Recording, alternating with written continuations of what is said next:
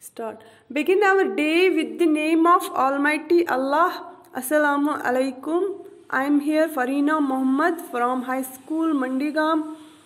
We are studying third chapter of history named as Nazism and Hitler for class 9th.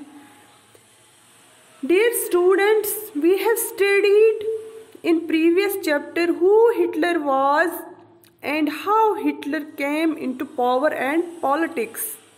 Now in today's topic, we will see some of the main features of Nazism that Hitler applied in Germany immediately after coming into power. The first and the foremost important feature of Nazist ideology is expansion. Nazis wanted to explore their territorial jurisdiction they want to make German empire a powerful empire. Nazis Germany को एक powerful umpire बनाना चाहते थे। Expansion कराना चाहते थे। दूसरे areas भी Germany के साथ मिलाना चाहते थे। कनक्योर करना चाहते थे बहुत सारे एरियाज़ को, ताकि जर्मन एम्पायर जो है वो एक बहुत बड़ा एम्पायर बन जाए। दूसरा फीचर इसका रेशियल प्योरिटी है। Racial purity Nazis believe in racial purity Nazis का मानना था कि वो लोग जो कि लंबे कद के हों, जिनकी नीली आँखें हों, गोरे सुनहरे बाल हो वही जर्मन कौम की असल रेस है। They are German Aryan race.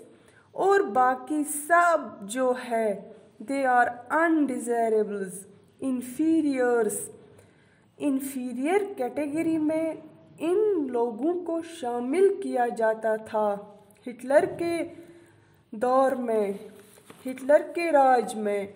इन अनडिज़ायरेबल्स में जीव्स यहूदी नस्ल के लोग सबसे आखिर और सबसे नीचे थे। इन्हें वो जर्मनी के दुश्मन भी समझते थे। That is the reason Jews were burn down in concentration camps जिनको डेथ कैंप्स भी बोलते हैं। प्यारे बच्चों, गौर से सुनो, इनको इंट्रागेशन सेंटर्स भी बोलते थे, जहाँ पे जीव्स को फ़िज़िकल पनिशमेंट यानी मार दाड़ कराते थे।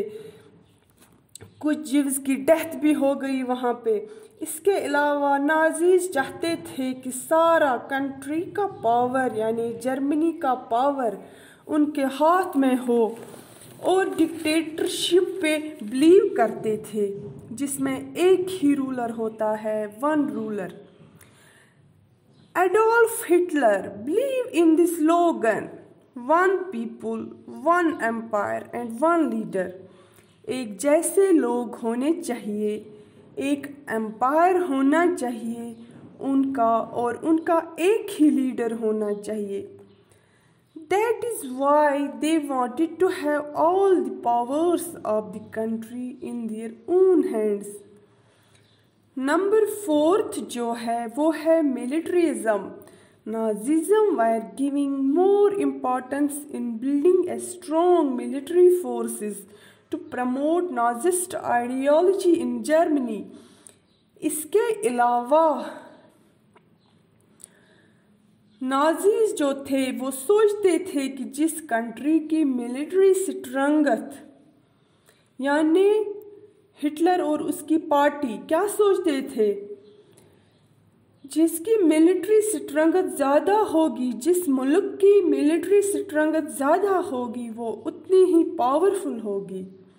That is why even in schools military education was given to the children इसीलिए स्कूल के करिकुलम में स्कूल के करिकुलम में मिलिट्री सब्जेक्ट को इम्पोर्टेंस दी गई डियर स्टूडेंट्स प्यारे बच्चों that was all for today we have seen the features of Nazist ideology today that Hitler applied in Germany.